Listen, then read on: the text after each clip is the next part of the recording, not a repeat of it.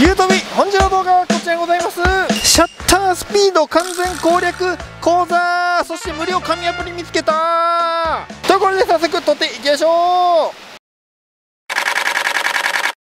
はいということで本日は渓谷にやってきてみたんですけどもいやついに皆さん新緑の時期です。新緑の時期もうこの水の流れる音ともう緑だけねあのお見せしたらもうこれ10分持ちそうなんですがいや今回はですね今回はですね最近言うとマニュアルモード解説動画アップして F 値の解説動画もアップしてねえ今回はシャッタースピードの解説動画でございます。シャッタースピードでね遊べるようになったらこれまたもうねスマホとかでは撮れないような魅力的なね非常に美しい写真がね撮る撮ることできますので今回そのシャッタースピードの説明をするためにえー、これ渓谷までやってまいりました。ほんで今回左上にプロモーションを含むみたいなの出てたと思いますがもうねもうこのアプリもっと早知っとけばよかったっていうぐらいめちゃくちゃ素晴らしい紙アプリもねご紹介させていただこうと思っておりますんでこの動画ねクリックした皆さんはねもうほんまにもうラッキーだと思います。ほんまに紙アプリすぎた。はいはいはい。はいということでいいとこありました。いいとこありましたもうちょっと近づきたい。16mm のね広角で狙おうと思うのでちょっとそこまで行きたいな。そこ。川渡るか川。あ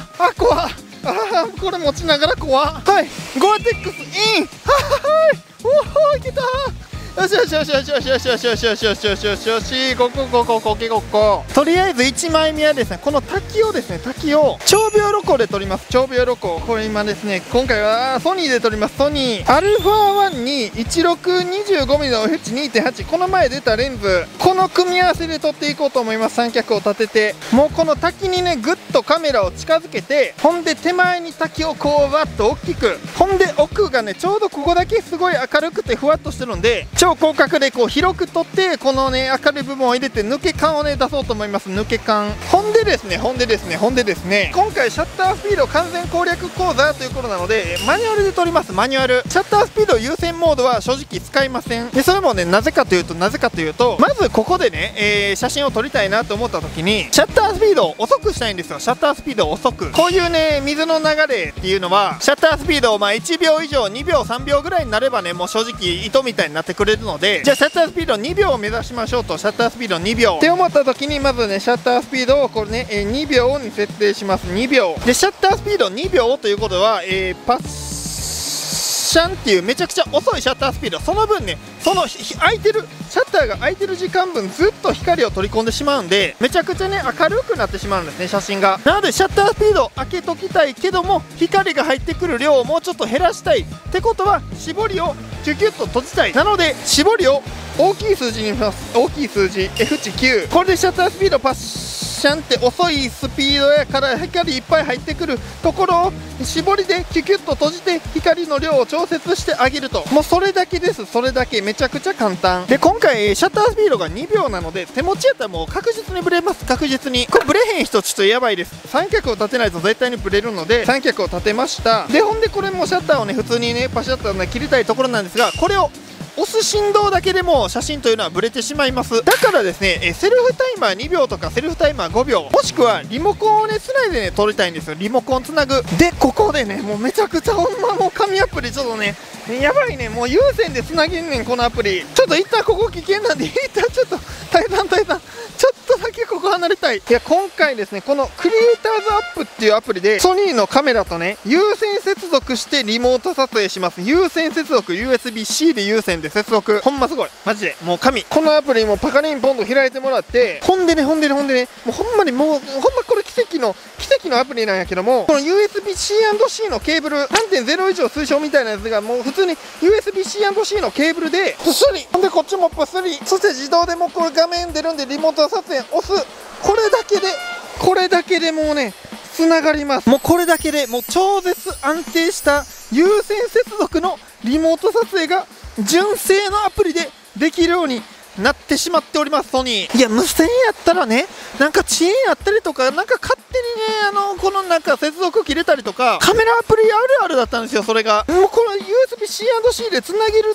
だけではあるんですけどもなもうそれが本当に革命。もうシャッタースピードとかもねもうこうやってもうめちゃくちゃ直感的に変えれるし F 値もめっちゃ直感的に変えれるしめっちゃ速い。ISO もこんなにもすぐ変えれるしほんでもこのシャッターの感度もめちゃくちゃいいし撮った後のね確認も2秒ちゃんとできるしこういうまずね長秒旅行で撮るとき。今まではねセルフタイマー2秒とかでこうシャッター押すたびに待っとったんですがタイプ C のケーブルさえ持っていけばスマホはもう絶対ポケットに入っとるんでリモコン忘れの心配もないしもう気軽に気軽にもう優先での撮影ができるようになりました。本当に拍手。やばい。このアプリやばい。というかもうこの有線の接続アプリでできるの本当にやばい。噛みすぎ。マジで神ということでこの有線で接続できるがゆえにねまた後で、ま、めちゃくちゃもうほんま最高なねこともあるんですが一旦ちょっとここであのシャッター切っていきましょう。もう一回あっち行って切っていきます。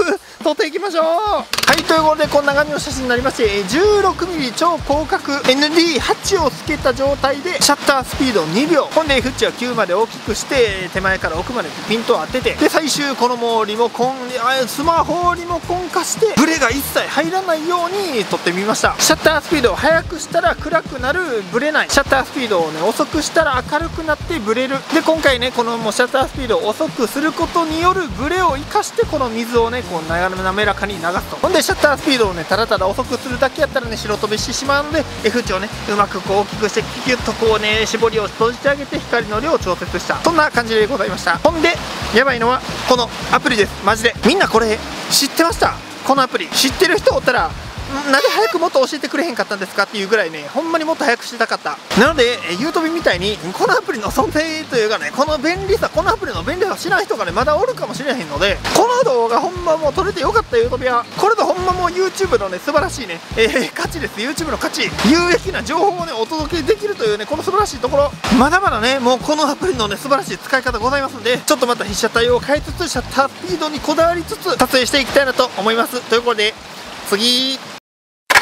はいということで次なんですけども次ねここ取っていきます。ここ。またねさっきと同じくね手前ね三脚立てて α1 に 1625mm 今回も 16mm で撮ります。16mm あとちなみにさっきから ND フィルターね ND8 つけてます。ND8 でですねでですねでですね。さっきはマニュアルモードで撮ってたんですが次はですね A モードで撮ります。A モード。シャッタースピードをこだわって撮影したいのになんで A モードやね絞り優先モードやねということなんですが言うとびですねあの基本やっぱねどんな写真撮る時でももぼかすかぼかさないかこれをね優先して決めたいね人なんですよ。今回のねこの写真やっぱ手前から奥までね全体的にピントがあってほしい写真を撮りたいのでまず F 値を決めたい。シャッタースピードをね自分の思った通りの数字にしたとしてもその前にねこの F 値例えば2.8やったとしてなんか奥の方ボケてたらねユートピ的にはそれが納得いかへんのでシャッタースピードを決めたい写真やったとしても F 値を先に決めると。なので正直 A モードでもいいんですよ A モード。でねちょっとまあ一旦ちょっと ND フィルターを外しといて例えば A モードでね写真を撮ろうとした時にどういう順番で決めるかなんですがまずねまあさっきから言ってるように F 値を決めます。F 値をね9にします。F 値9これで手前から奥まで全体的にピントが合うと。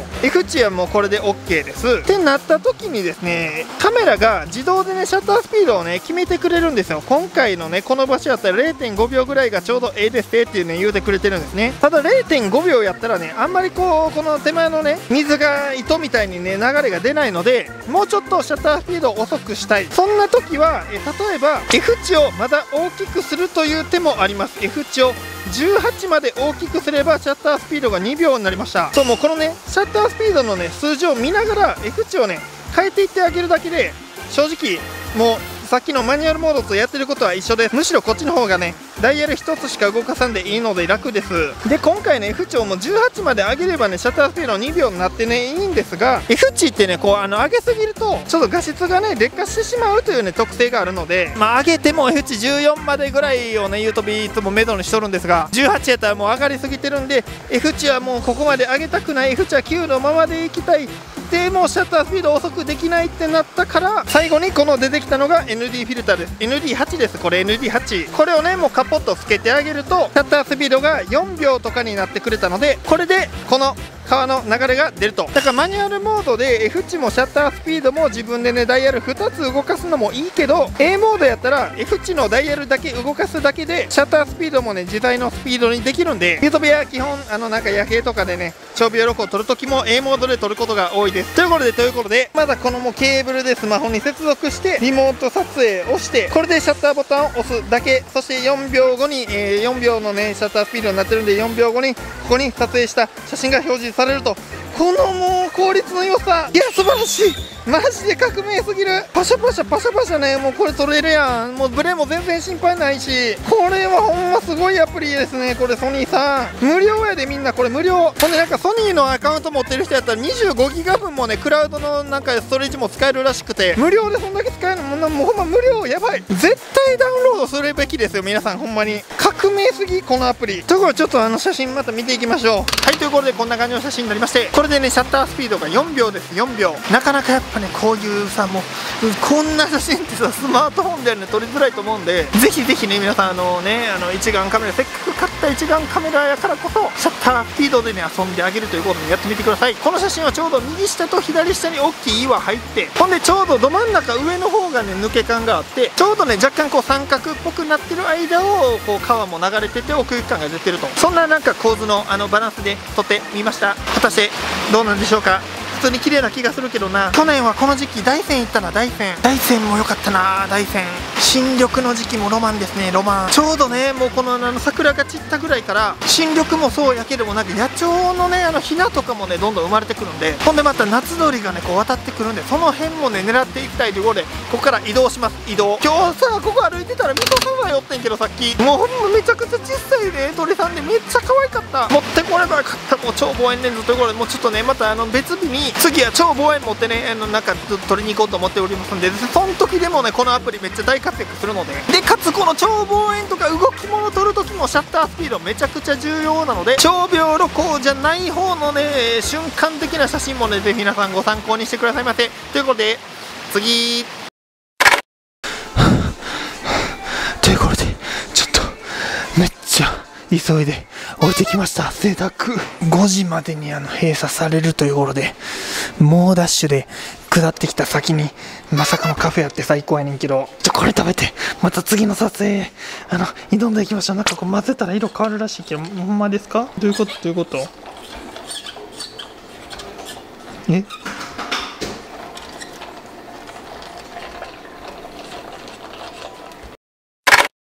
はい、ということで、別日のゆうとびです。いや、ここからは皆さん、超望遠600ミリの世界です。600ミリ。さっきまでは16ミリ超広角やったけども、急に600ミリでいきます。600ミリ。新緑の時期がついに来たということでね、あの、夏鳥も新しい鳥入ってきてることでしょうということで、とりあえず安定のキビタキあたりは狙いたい。そんなお年頃。オールリとかも来てたら撮りたいけどな、オールリのちゃんとした写真まだ撮れてへんもんな。参考帳も撮れてへんもんな。オールリ参考帳あたりが出たら、もう激アツでございます。ということで今年の新緑シーズンの野鳥撮影は今回からスタート。エナガ団子とかも撮れてないけどなんかもう撮りたいもうこの時期もまためちゃめちゃ楽しんでねもう撮りたいもんいっぱいですがちょっと板探してまいります。撮っていきましょう。はいということでキビタキ見つけました。キビタキ。キビタキほんまめっちゃ泣いてくれてるんで見つけやすい。いや冬終わったったな初夏来たな初夏。キビタキねこれめっちゃ皆さん珍しいですよね。こんな黄色い鳥いるんですよ日本でめっちゃ簡単に見れるんですよ。簡単ではないか。割と珍しいけどもオールリ三光鳥コマドリとかね他のやそういう夏の鳥よりかはまだ見えやすいかなというね鳥ですね。さえずりもねこうめちゃくちゃ綺麗で夏が近づいてきたら絶対にねもう1枚は取って帰りたい。そんな野鳥さんでございますでただちょっと今日暗い。めっちゃ曇っとるんですよね。晴れ予報やってんけどな。午後から晴れなんかな。ちょっと一旦この曇りの状態でうまくシャッタースピードをね稼いでいきたいところ。で設定なんですけども超望遠の時もシャッタースピードめちゃくちゃ重要です。めちゃくちゃ重要。ブレないシャッタースピードの目安が焦点距離分の1秒って言われてるんですね。だから 16mm とかね超広角やったら16分の1秒とかでもブレへんかったりするんですが 50mm やったら50分の1秒でもねブレへんのですが今回 600mm のレンズをつけてるんでもう600分の1秒以上のねめちゃくちゃ速いスピードにしないとねブレてしまうということになってしまうんですね。ただですよただですよ。例えば今むっちゃ暗いんで600分のの1秒とか超えようとしたら ISO8000 まで上げなダメなんですよ。8000いやそれはちょっとさすがにきついな。いやせめて3200ぐらいまで収めたい。これで400分の1秒か。三脚は立てるしレンズとかボディにね手ブレ補正はついてるんですがそれでもやっぱりねこのビブレというのはね非常にね超望遠この野鳥を撮るときはめっちゃビブレには注意して撮らんのダメなんですね。シャッタースピードがもうさめちゃくちゃ速いスピードやったらねこのシャッターを押す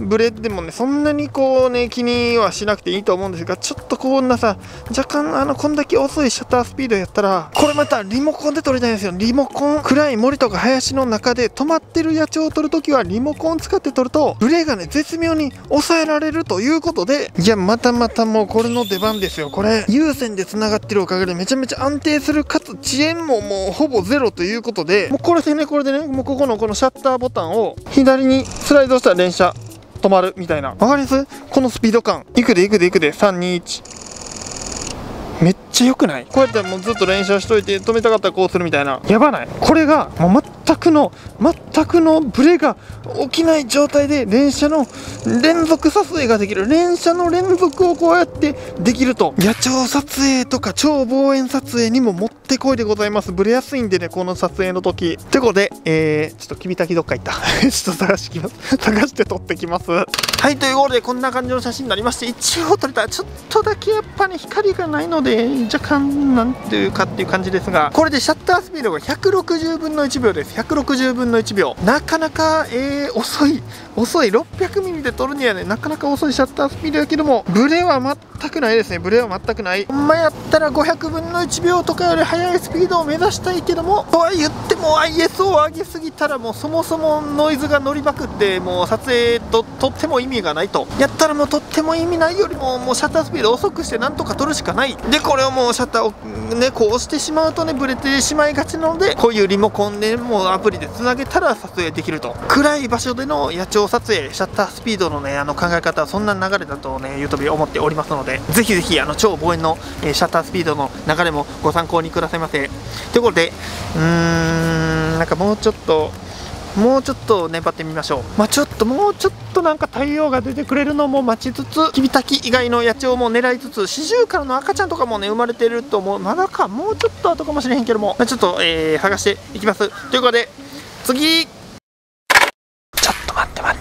って待って待って参考長。参考長ちょっとこれは喋ってられへんやっぱっていや遠いな。ちょっと待ってくれ。あ飛んでいた。いやもうこれあの一旦動画撮ってる場合じゃないので。一旦切ります写真。写真写真写真写真。オッケーオッケーオッケーオッケーオッケー。やばいの撮れた。やばいの撮れためっちゃやばちょっと待って。はいということでこんな感じの写真になりまして。参考長参考長撮れた。参考長のちゃんとした写真初めて撮れた。いやたまたまあのユートビがおったところのこの抜けた先のいいところの枝に止まってくれてしかも絶妙に前ボケが入ってくれて。かつかつやで。これあのトサカ立ってるじゃないですか。これメスなんですよメス。メスってこんなにあのトサカ立たないんですがちょうど風が吹いてくれて風が吹いたおかげでこうトサカが立ってかつ尻尾もさちょうどこの葉っぱで切れてるからメスはねあのそんな尻尾ねあの参考長らしく長くないんですけどもまるでオスみたいな写真が撮れた。背景もちゃんと若干光当たってて明るい背景で撮れてめちゃくちゃしかもその風が当たってるタイミングで謎に口開けてくれて泣いてるわけじゃないの口開けてくれて。やばめっちゃいい。ちょっとこれいや確認したい。早く。そんな時には皆さんねこのアプリまた部屋の めっちゃすごいね。いやほんますごいね。このアプリマジやばいね。普段の日常撮影ほんまもう全部ソニーで撮りたくなるぐらいで、このアプリめっちゃいい。とりあえずさ、とりあえずさ、こう、まあ、またね、こう刺すじゃないですか。刺すじゃないですか。ほなもうもうね、もうへんまに一瞬でもう繋がって、さっきまでね、このね、リモート撮影っていう方を押してたんですが、取り込むを押すんですよ、取り込む。そしたらね、そしたらね、そしたらね、もうさっきまで撮ってた写真がね、こうやってもうずらーっとこう並んでくれてて、ほんでよ、ほんでよ、ほんでよ、ほんでよ、ほんでよ。もうここれもさめちゃくちゃ安定感やばい安定感が本当にさやばいんですが取り込むスピードがねめっちゃ速いんですよ。どれや？さっきの YouTube 撮った口開けた写真どれや？もう連写しまくってるで。どどこですか？どこですか？ここここれやこれ。これこれこれこれこれこれやばないこれ。これチェック入れてあとさっきのキビタキの写真もちょっと取り込んでおきましょう。いやね動画ではもちろんカットしてますがねいろんなねカットを撮ってるんですよ。カットをカットしてるんですよ実はね。この辺これとかもうなんかこの辺も名前かね。名前か適当にね選んでねあの取り込みたいなって今チェックしてえー、最後に一番この下のねボタンをポチッと押してあげると OK 押してあげるともう OK 押してあげるともうこのねローファイルローデータをめちゃめちゃ速いスピードでこのスマホの中に取り込むことができる。このさもうさあのワイヤレスでさ接続するのも便利やけどさなんかこうパシャって取ってわざわざこうなんか w i f i オンにしてこうつなげてほんであの取り込む時もちょっと遅くてみたいなことをしなくてもプスッとさして選んで取り込むスピードもめっちゃ速いっていうスマホへのデータ転送もめちゃくちゃ速い。これもちょっと有線でできんのめっちゃ良くないですか皆さん。本当にこれ知ってる人いたらマジで早く教えてほしかった。なんかこの前の前回の滝の撮影でも言った気がしますけども。これできんのやばい普段なんかパシャパシャ撮ってちょっとあの iPhone 送るわ言うてやる時のにこれ使いたいからもうソニーでなんか 50mm とか普通に欲しい。このアプリのせいでちょっとソニーのレンズもっと欲しなって持ってるもんな今。ってぐらい革命が起きてますこのアプリ。有線でシャッター切れるのと有線でデータが送れる。この2点が特にね素晴らしすぎるのでとにかくこれを伝えたくて、えー、今回のシャッタースピードの動画、えー、撮ってみました。皆さんいかがでしたでしょうか？ということで もう撮るもんなので終わります。ちょっとめっちゃいいやマジで。めちゃくちゃいい写真撮れてんねんけど。っていうかこのスピード感でスマホに簡単にローデータを転送できてしまうというおかげでマジ現像がはかどりすぎる。これ現地で現像してその場でアップロードもできてしまうやん。やば。めっちゃいいやマジで。やばいなこのアプリ。何でしたっけ？今。エンディングか。ということで、えー、本日はシャッタースピードについてね解説しつつこのあの無料のねソニーのクリエイターズアップっていうアプリね紹介してみたんですけども皆さんいかがでしたでしょうか？いや正直本当にお世辞抜きで革命です。このアプリにねなんかラットのねインポートができたりとかそもそもこのソフトウェアアップロードもね今までパソコンつなげてとかしてたのをアプリ経由でも簡単にできたりとかねいろいろするらしいんですがもう言う飛びできないやっぱこの有線で接続できてるおかげでリモート撮影ができるのとデータ転送がめちゃくちゃ高速にできる。特にこの2点がね素晴らしいなと思いましたんで本当に、えー、普及してほしい。普及するしかない。これ無料なんでとにかく。ほんでね、えー、シャッタースピードに関してはあえてブラス動いてるね。川とかのレーザー車のレーザービームとか動いてるものをあえて遅いシャッタースピードでブラス。そんな面白い表現ができたりあとはね高速ねシャッタースピードめちゃくちゃ速いシャッタースピードでさっきのあの参考長のパッと開いてるそんな瞬間をね閉じ込めることができたりとかいろんなね時間間軸をねこう写真に閉じ込めるというのがねこれまた写真の面白い部分だと思いますんでこの時間瞬間を切り取るのか長い時間をねこう写真に閉じ込めるのかシャッタースピードをね自分で調節していろんなね表現を皆さん生み出してきてくださいませ。ということでいやもう本当にもうとりあえず YouTube で大満足参考長なの開口開いてる写真撮れたんで大満足。いや今期もまたねいろんなあの新緑シーズン他の珍しい野鳥もね狙っていきたいなと思います。ということでもう喋ることないので帰りたいなと思います。ぜひ皆さんアプリは概要欄からチャンネル登録はここからお願いいたします、えー、帰ります。目指せ20番に。さよなら。バイバーイ。